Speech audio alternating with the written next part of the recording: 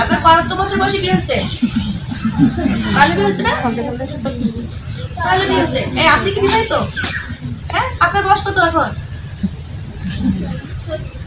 ভালো বিয়ে হয়েছিল? আচ্ছা তো ঠিক আছে আমি আপনাদেরকে অনেক কথাই বললাম। অনেক কথার মূল কথা হচ্ছে স্বনির্ভর হওয়া। আপনি যখন স্বনির্ভর হবেন নিজের নিজেরটা নিজে বুঝবেন। স্বামীর সঙ্গে সারাক্ষণে বলবেন না যে আমার টাকা দাও আমার ব্লাউজ বানানোর টাকা দাও মেডিকেল বানানোর টাকা দাও একটা ব্যান্ড কেনার টাকা দাও একটু সিঁদুর কেনার টাকা দাও একটা নাক ফুলের টাকা দাও ছোটখাটো জিনিস। তখন আপনার স্বামীর সঙ্গে আপনার ঝগড়াও লাগবে না। লাগবে ঝগড়া? আপনি খেতে পছন্দ করেন দেশি পান। স্বামী বাজার থেকে এনেছে বড়াই পান। ঝগড়া লাগে না?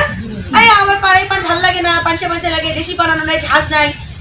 যখন আপনার ইনকাম থাকবে, আপনার স্বামীর হাতে টাকাটা নিয়ে বলতে পারবেন দেখো, আমার এই পানটা ভালো লাগে না, ওই পানটা বেশি। তখন আপনার স্বামী কিন্তু আপনার সঙ্গে খারাপ ব্যবহার করবে না।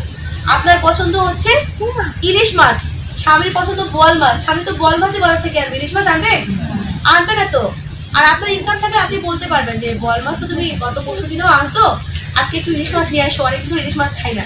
স্বামী হাসি মুখে নিয়ে আসবে। আর যখন বলবে, এই তুমি খালি ইলিশ মাছ আনো, ইলিশ মাছ আনো বোয়াল মাছ আনো, আমার তো ইলিশ মাছ, ইলিশ আনো না কেন? তখন কি বলবে, এই তুই কয় টাকা ইনকাম করিস? ইলিশ খাইতে চাস? বলবে না। আর যখন মাসে মাসে কিছু দেবেন আমার সামনে কিন্তু আমাকে বলে না। ওনার সামনে ওনারা বলবে না। কারণ আমরা মাস গেলে টাকা দিই। সংসার তার হাতে দেই না, তার হাতে সে নেয় না, কিন্তু খরচ তো করি। যে বাচ্চার কাপড় চোপড় লাগে, আমি অনেক সময় তাদেরকে তখন বলি না। নিজে নিয়ে আসতে আমার কাপড় চোপড় লাগছে, আমি নিজে নিয়ে আসছি। অথবা আমার হাজবেন্ডের ড্রেসটা দেখে মনে হচ্ছে ছিঁড়ে গেছে বা নষ্ট হয়েছে, তারটা কিনে দিচ্ছি শ্বশুর শাশুড়িকে দিচ্ছি তো ওই শ্বশুর শাশুড়িকে তো মাথায় তুলে রাখবে, লাগবে না? আপনারাও তাই করবেন। তো সব কথার এক কথা, কি হতে হবে? নিজ পায়ে দাঁড়াতে হবে। যারা শিক্ষা গ্রহণের এখনও সুযোগ আছে, তারা শিক্ষা গ্রহণ করে। আর যাদের এখনও সুযোগ নেই, তারা হচ্ছে অন্যভাবে। এখানে দেখেন লেখা আছে কি? মহিলাদের ক্ষমতায়ন। সব কথার এক কথা মহিলাদের ক্ষমতায়ন। আর মহিলাদের ক্ষমতায়ন তখনই হবে যখন তারা স্বনির্ভর অনেক সুযোগ আছে। আপনাদের পাঁজর ভাঙায় কিন্তু বড় বড় খামারি আছে দাদাদের। বড় বড় খামারি আছে। উনিও কিন্তু ভালো খামারি মনে হলো। তো আপনারা যেটা যে যার সুযোগ আছে, যে দুটা গরু পাচ্ছেন সে দশটা গরু করেন, যে দুটা ছাগল থেকে চিনছেন সে, আর কয়েকটা ছাগল বাড়ান, যাতে এটা থেকে একটা ইনকাম হয়, যাতে টাকা আসে। তাহলে সকল দিক থেকে আপনারা ভালো থাকবেন। নিজেরা যেমন ভালো থাকবেন, পরিবার ভালো থাকবে, সমাজ ভালো থাকবে, দেশ ভালো থাকবে, বিশ্ব ভালো থাকবে। আর সামাজিক বিভিন্ন ইস্যু যেমন এখন করোনা ভাইরাসের ভয়ে মানুষ আতঙ্কিত। চীনে বিয়াল্লিশ হাজার করোনা ভাইরাসের রোগী আছে, দেড় হাজারের মতো মানুষ মারা গেছে। এগুলো বিষয়ে কি ধরনের সচে- সচেতন থাকা প্রয়োজন, সেগুলো টেলিভিশন খুলে দেখতে পারবেন। এছাড়া জলসা জি বাংলার ওই যে কে আপন, কে পর দেখে লাভ হবে না। ভালো জিনিস দেখেন সংবাদ দেখেন দেশ কোন অবস্থায় আছে, কোথায় যাচ্ছে, সেগুলো শুনেন, টক শো দেখেন, খবর দেখেন। তাহলে সব কিছু জানতে পারবেন।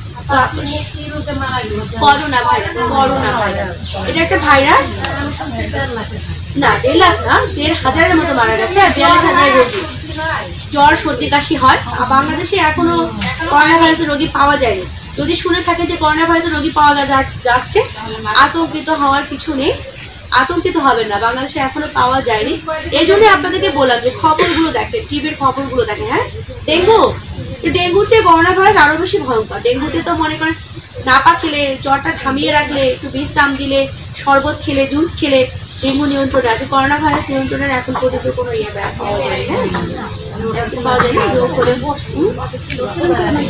পাওয়া যায়নি গবেষণা চলছে। তো আপনারা সবাই সুরক্ষিত থাকেন অর্থনৈতিক ভূমিকা রাখেন, আমাদের জন্য দোয়া করবেন, আপনাদের জন্য আমাদের দোয়া থাকল। কথা বলা শেষ করছি আর কি। ধন্যবাদ সকলকে।